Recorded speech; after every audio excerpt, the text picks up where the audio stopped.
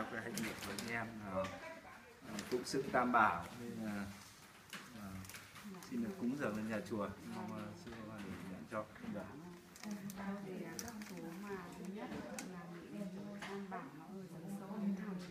thì các cô cũng lao cho thầy không có nhà thì cũng nguyện cầu hoàng ân tam bảo chứng minh và cho tất cả